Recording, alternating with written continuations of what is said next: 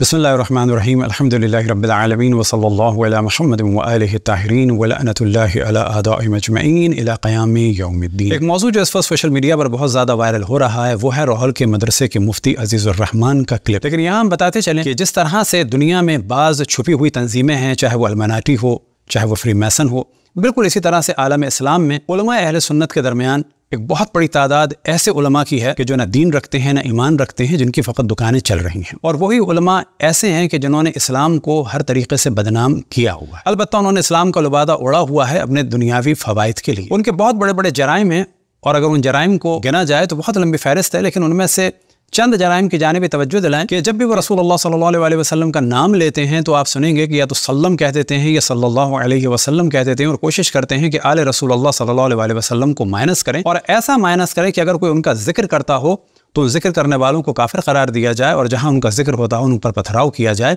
हर गुनाह उनके नज़दीक हलाल है, हर गुनाह को वो अंजाम दे सकते हैं, लेकिन नवास रसूल का और रसूल की नवासियों का ज़िक्र उनसे बर्दाश्त नहीं होता, बल्कि उन पर जुल्म करने वालों को रहमतुल्लाह भी कहते हैं।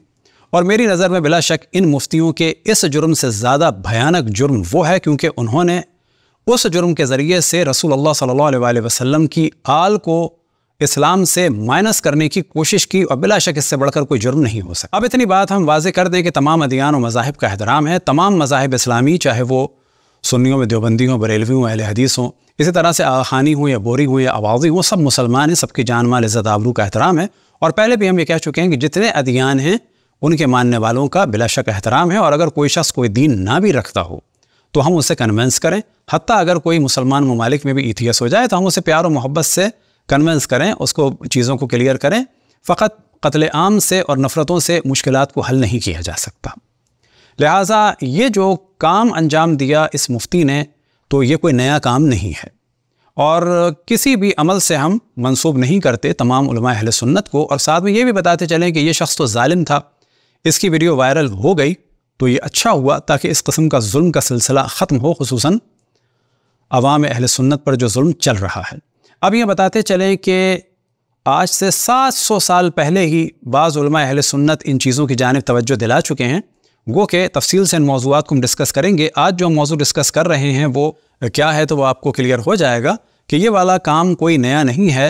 ये खलफा के दरमियान हाकिमों के दरमियान उलमा के दरमियान फ़ुकाहा के दरमियान काजियों के दरमियान अहल सुन्नत में सैकड़ों सालों से बहुत ज़्यादा फैला हुआ था और ख़ुद अहल सुन्नत के नज़दीक अक्सर लोग इन कामों में मुफ्तला अगर ये काम कोई शख्स करे इंडिविजुअली कर रहा हो तो कतन उसकी वीडियो को वायरल करना सही नहीं, किसी की जासूसी करके इस कस्म की वीडियोस को वायरल करना बिल्कुल सही नहीं।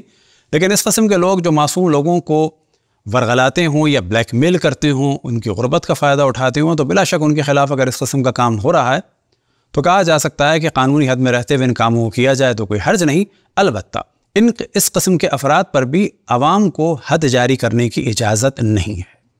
आपके सामने है अलबिदाया वन नहाया। जल्द नंबर नौ। और सफ़ा नंबर है वन सेवेंटी फोर।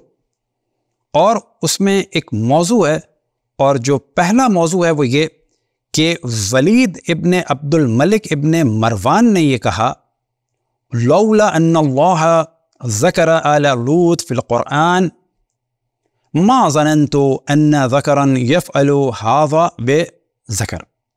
कि अगर खुदावन तबारक व ताली कुरान में कौम लूत का ज़िक्र नहीं करता तो मैं नहीं समझता कि कोई भी मर्द ये काम करता। अब ये इस खलीफतुलमसलमिन और अहल सुन्नत के इस जाहिल खलीफा की कितनी जहालत की बात है कि ये वाला काम बकौल उसके कि कुरान में अल्लाह ने क्योंकि ज़िक्र कर दिया तो ये हो गया, वरना वो सोचता है कि ऐसा नहीं होता।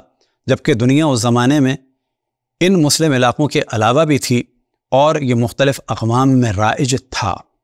तो ये तो आलम है इन जाहिल खुलफा का। अब इस मौजू को डिस्कस करने के बाद ने कसीर दमिश्ती कि जिनकी वफ़ात हुई 774 में, वो अपनी किताब, यानी इसी किताब अलबिदायत व नहाया में, इस मौजू को डिस्कस करते हुए आगे चलते हैं कि ये मुख्तलिफ़ जगह ये काम हो रहा है, मुख्तलिफ़ अकमाम इसमें मसरूफ़ हैं, और उसके बाद जो हमने रेड से हाईलाइट किया है आपके सामने, वही फ़ाहिशतुल्लवात और यह है इसी ये वही गुना है वही या फ़ाहिशतुल्लवात अल्लती कद उब्तलिया बिहा गालिबुलमलूक वल उमरा। और ये वही गुनाह लवात का कि जिसमें मुबतला हैं हमारे अक्सर बादशाह और उमरा। अब यहाँ पर असल मौजू यह है कि 700 साल पहले मिनिमम, साढ़े सात सौ साल पहले ये फरमा रहे हैं कि गालिबुल मुलूक अक्सर हमारे बादशाह और उमरा, यानी जितने भी अमीर हैं, गवर्नर्स हों, फौजी हों, ये सब लोग व तुजार और ताजर, वल अवाम, यानी अवाम अहल सुन्नत भी उस ज़माने में अक्सर इन कामों में मुबतला थे, वल कुत्ताब और किताबें लिखने वाले, वल फ़ुक़हा और अक्सर फ़ुक़हा, वल क़ुज़ात और अक्सर क़ुज़ात, व नहवहम और इन्हीं तरह के मुख्तलिफ़ तबक़ात। इल्लामन असमल्लामिन मगर ये कि जिनको अल्लाह ने बचा लिया हो। इल्ला, यानी कुछ ही लोग बाकी बचे हैं इन कामों से। अब इसका उर्दू तर्जुमा भी आपके सामने बयान करेंगे, दूसरी छाप भी दिखाएँगे। बाज़ दीगर प्रिंटों से इसमें दो दो सफ़े पूरे गायब कर दिए गए हैं। लेकिन हम दो छापें आपके सामने बता रहे हैं ताकि ये ना कहा जाए कि ये कोई मौजू ऐसा है कि जो झूठ बोल दिया। मुमकिन है थोड़े दिन में कहा जाएगा कि मौलाना को लड़के ने बहका दिया और लड़का जो है राफिजी था। ये सब कुछ कह सकते हैं लोग।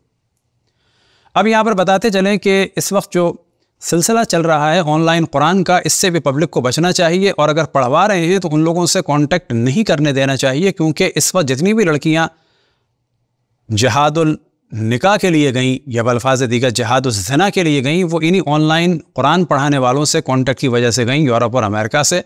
इसी तरह से बहुत सारे लोग आईएसआईएस के जो गए, वो भी इन्हीं लोगों के ज़रिए से गए। तो देखें अब साढ़े सात सौ साल पहले ये आपके बड़े आलिम, यानी इबन कसीर फरमा रहे हैं फ़ाल रजुल, के एक मर्द पर लाजिम है। क्या लाजिम है? हिफ्ज वलद ही फ़िहाल सगर ही वबाद बुलूग ही कि एक मर्द पर। अब यहाँ पे रजुल का माने किए जा सकते हैं, एक शख्स पर, एक आदमी पर। या अर रजुल से मुराद एक शरीफ आदमी पर या अर रजुल से मुराद, एक सही माना में जो एक मर्द हो, उस पर लाजिम है कि वो अपने बच्चों को इन लोगों से बचाए बचपने में भी और बुलूख के बाद भी। युजन बहु मुखालत इन मलूनों से मिलने झुलने से रोके। रसूल सल्लल्लाहु अलैहि वसल्लम, कि जिन पर अल्लाह के रसूल सल्लल्लाहु अलैहि वसल्लम ने लानत भेजी। तो अब अगर आपके मदारस में ये सब कुछ हो रहा है तो आपके एक बड़े आलिम इबन कसीर दमिश्की आज से साढ़े सात सौ साल पहले तकरीबन ये फतवा दे चुके हैं कि आप में से जो भी शरीफ आदमी है, जो भी सही माना में मुसलमान आदमी है, वो इन लोगों से मिलने जुलने से, अपने बच्चों को बलूख से पहले और बलूख के बाद बचाए। किन किन लोगों से बचाए? तो उन्होंने पूरी फहरिस्त बयान कर दी है कि इसमें गालिबुलमलूक वलमरा व तुजार वल अवाम वलकुताब वलफ़ा वलक़ात व नहम मन आसम मगर ये कि जो थोड़े बहुत बच गए लोग, अब थोड़े बहुत बच गए तो कैसे पता चलेगा? तो लिहाजा कोशिश करनी चाहिए कि इन लोगों से बचाया जाए। अब जो पहला प्रिंट आपके सामने पेश किया, वो दारुल किताब इल्मिया का है और दूसरी अब आपके सामने पेश कर रहे हैं यह है मकतबतुल मारिफ बैरूत का। और इसकी भी जल्द नंबर नौ है और सफ़ा नंबर है वन सिक्सटी टू और इसमें ये वाला मौजू बिल्कुल वाज है और ये पुरानी छाप है और वो नहीं थी। अब हम आपके सामने पेश कर रहे हैं तारीख़ इब्न कसीर, जल्द नंबर नौ, नफीस एकेडमी का उर्दू तर्जुमा है, अल्लामा हाफिज़ अबुल फ़िदा इमादुद्दीन इब्न कसीर, यानी इब्न कसीर की लिखी हुई किताब है और हाफिज़ सैयद अब्दुल रशीद नदवी एम ने इसका तर्जुमा किया है। और सफ़ा नंबर 186 में। वही वाला मौजू है वलीद का, कि अगर इसका ज़िक्र कुरान में न करता, अल्लाह सुबहाना व ताली, मेरा ख्याल है कि मर्द मर्द के साथ बदफेली का इरतकब न करता। तो ये जाहिल वलीद इबन अब्दुल मलिक इबन मरवान की राय है कि जो बिल्कुल गलत है, और उसके बाद इन्होंने तर्जुमे में ज़ाहिर डंडी मारी है और क्यों ना मारते। लेकिन खैर, फिर भी इन्होंने तर्जुमा कर दिया। उन लोगों से तो बेहतर है कि जिन्होंने दो दो सफ़े आजकल बिल्कुल नए प्रिंट में से गायब कर दिए। अब इसके बाद ये फरमाते हैं व लवात की घनावनी खसलत में दुनिया की बहुत सी कौमें और अफराद की तरह। आम मुसलमान ही नहीं, बल्कि मलूक, उमरा, फ़ुकहा, क़ुज़ात और हफाज तक भी मुबतला हैं। अब इन्होंने कह दिया, मुबतला हैं, जबकि असल इबारत यह है, गालिब, कि असल इबारत आपके सामने बयान कर चुके थे कि इसमें मुफ्तला है कौन? गालिबुल मुलूक। जबकि उनको तर्जुमा कर देना चाहिए था कि इसमें हमारे अक्सर हाकिम और गवर्नर्स या उमरा और इसी तरह से तुजार, ताजर, अवाम और किताबें लिखने वाले फ़ुकाहा और काजी अक्सर शामिल हैं, लेकिन उर्दू में इन्होंने इसमें डंडी मारी और गालिबुलमलूक की जगह इन्होंने कर दिया कि बहुत सी अकवाम अकवाम और अफराद की तरह आम मुसलमान ही नहीं, बल्कि मलूक, उमरा, फ़ुकाहा, कुजात और हफाज तक भी मुबतला हैं। अल्लाह ताला ऐसे लोगों के साय से भी कौम को बचाए। और ये जो इबन कसीर ने एक तरह से फतवा दिया था और हुक्म दिया था कि एक मुसलमान को या एक शरीफ शख्स को चाहिए कि इन लोगों से मिलने जुलने से रोके उस पूरी लाइन को इन्होंने गायब करके तर्जुमा ये कर दिया, अल्लाह ताला ऐसे लोगों के साय से भी कौम को बचाए। इन्होंने दुआया जुमला कह दिया, जबकि वहाँ पर उनका हुक्म था और फतवा था कि इन लोगों से मिलने से अपने बच्चों को रुकाना चाहिए। अब यहाँ पे कहा जाएगा, ज़ाहिर जब किताबें तर्जुमा नहीं होती तो लोग अपने बच्चों को इन लोगों के पास भेजते हैं, उसके बाद जो है परेशान होते हैं, जबकि साढ़े सात सौ साल पहले आपके बड़े आलिम कह चुके थे कि इस कस्म के लोगों से इनको बचाया जाए। अब इन इसी मौजू को आगे लेके चलेंगे और इसकी वजह यह है कि जिस तरह से इन मौलवियों ने अहल बैत से दुश्मनी का इजहार किया और अहल बैत के चाहने वालों को कत्ल कर रहे हैं तो इन अफराद को अल्लाह सुबहाना व ताली का शुक्र है कि तारीख़ में ख़ुद इन्होंने भी बेनकाब किया। और ये बताते चलें कि यजीद इस काम में मुबतला था, बनु उमैया इस काम में मुबतला थी, बनु अब्बास का ये ख़ास मशगला था और इनके बड़े बड़े उलमा और फ़ुकाहा खसूस याहिया इबन अकसम, ये सब इन कामों में मुबतला थे और आज भी हैं।